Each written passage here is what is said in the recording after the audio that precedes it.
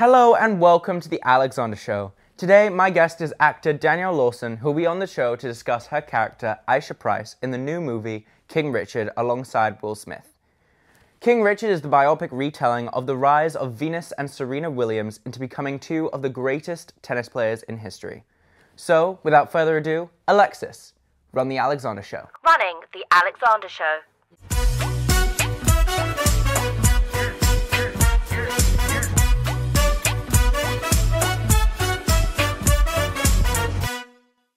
Hello, Daniele. Hi. Thank you so much for coming on the show. Thank you. I watched King Richard. It's an amazing film. Uh, when you got the script, what was the first thing that went through your mind? I was super excited to first even um, read a script for Mr. Will Smith and Mr. Ray Green, and I was super, super excited and a little bit of nervous. There was some pressure because um, this cast is such an amazing cast. Everyone has so much experience. So I really wanted to, um, you know, just put my best foot forward and do well, and it was really exciting. So I understand you played. You you were going for multiple roles Yeah. uh, in the entire movie Yeah. before landing on Aisha Price. Yeah. Um, what was that casting process like Yeah. throughout that? Well, I first auditioned for Venus, and then it was about six months later I got called in to read for Lynn Price, which is one of the sisters, and then I read for Isha, and then I was pinned for Lyndrea. So I'm like, oh, okay, I'm gonna get oh, Lyndrea. Oh, wow. And then they decided that they wanted me for Isha, and I was super, super happy, and I feel like Miss Isha was a perfect fit for me. So when on set, was it hard for you to play a real life character? And did you actually get to meet Aisha Price in real person? Yes, I met Miss Isha a while back. Um, wow, almost two years now, and we got to sit down and just talk and get to know each other. She's a, an amazing person. She's a lawyer, and I really got to learn about her family dynamic and how life was for her as a kid growing up. You know, being the sister of Venus and Serena, and just every day going to tennis, going to school. And so it was pretty cool to learn about her, and she was there on set with us every day. I didn't really feel any pressure having her there, but I felt it that it was like pretty helpful for her to be there and to give us instruction and insight. So, do you do you play tennis? I don't play tennis. So when on set, did you actually learn how to do the whole tennis? Actually, I didn't have to play any tennis during the film, but um, on our off breaks, I would play with Demi and Saniyya, my co-stars, and it was really fun because they actually had to train and you know work out every single day, even months before we started filming. So they're pretty much pros now. So I got to practice with them, and I think I got a little better.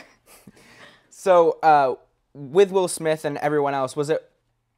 As you know, you, you as I just realized, you you you did play tennis um, off screen, but was it all all work and no play sometimes, or was it was it like always fun for you? What what was the dynamic there? It was always fun. Each day was super fun. We made TikToks, we had piggyback rides, a lot of singing and dancing um, on and off screen. We became so close, and all of the girls started hanging out like outside of um, set. So we go to dinner together, we go to the pier, and just have so much nice. fun. That's so cool. What do you love most about your character? Did you have any like nervous tics or anything like that that you love particularly loved about I- Aisha Price or anything like that? Yeah, well, I think Miss Isha is so supportive, and I can really relate to that. I have siblings, and um, I feel like they're so supportive of me, and it was really nice to see how supportive she was of her sisters and encouraging, and how she just really wanted the best for them, and she was very protective. I love that. What's next for you? Yeah, well, I'm just auditioning a lot right now. I just booked a commercial, so I'm super excited, and I get to film next week. Yeah, and um, I'm a senior in high school, and I graduate in a few months, and I'm super excited. I'm going to college soon, and I'm staying in California, but I'm super excited. I hope to study film.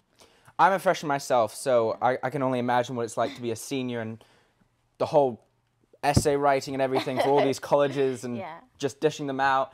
Uh, what what are your goals for university and where do you where do you plan to go? Yeah, well, my dream school would be UCLA. And um, like I said, I hope to study film and also continue my Spanish. I love to see, speak Spanish, and I've been practicing that for a few years now since I was in eighth grade.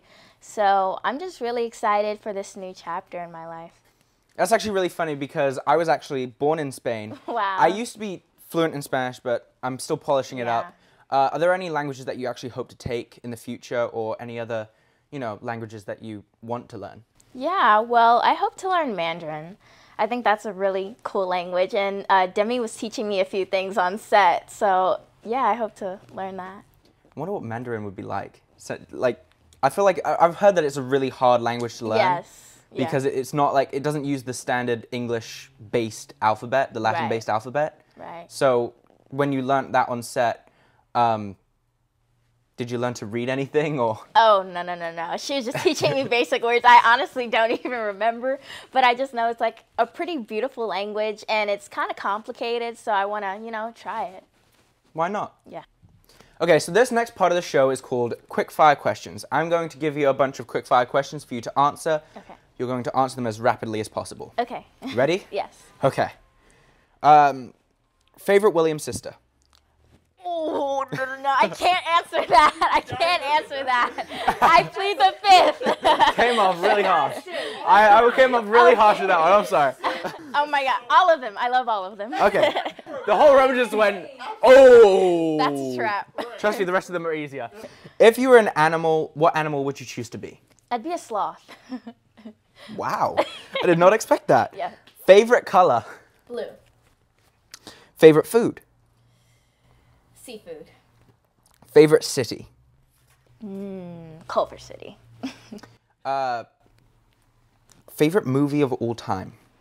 Dreamgirls, um, Cinderella with Brandy, and Love and Basketball.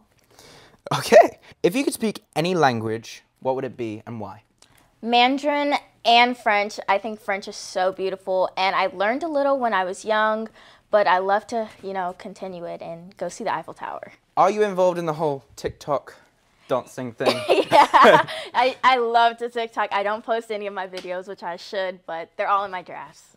that was great. It is time to take a break, so we'll be back with more of The Alexander Show. Stay tuned for more of The Alexander Show. Hello and welcome back. This next part of the show is called Game On. Today we are playing the game What's the Link? Here are the cards. Each of us will pick one card, each will have seven words on it. We'll think of a phrase to link the word on the card. For example, if the word is freak, one of the players with the card would have to come up with a sentence for it. You may say, I got into a freak, and the other person would guess the finishing sentence. So, I got into a freak, Accident. exactly.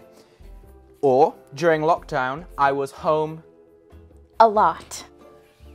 That is close, oh, but it was actually homeschooled. That, that's actually that actually oh. works. But yes, you, you Every get the general idea. Okay, you seem ready? So I'm gonna shuffle the cards, just just a selection of cards, and I'm not gonna look at them. And we're each gonna pick one card from the deck. I'm a horrible shuffler. okay. So there the cards. Now I'm gonna pick one, and you can pick yours. So, do you want me to go first, or do you want to go first? You can go first. Okay. So, question number one is Someone stole my credit card and I got into an identity. Crisis. Yes, Okay. identity crisis. Okay. okay. Um, I went to my friend's house and I got in trouble with my parent, so I told a very big. Lie? Yeah. Okay. Uh, okay. My friends were too close to me, so I told them I need some breathing. Space. Yes. My turn. Okay. Um, in science class, we had a project where we take a balloon and rub it on our hair, and that would create a lot of Friction. Energy. static. Static. I went on my phone and on my wallpaper, it is also called a screen. Saver. yes.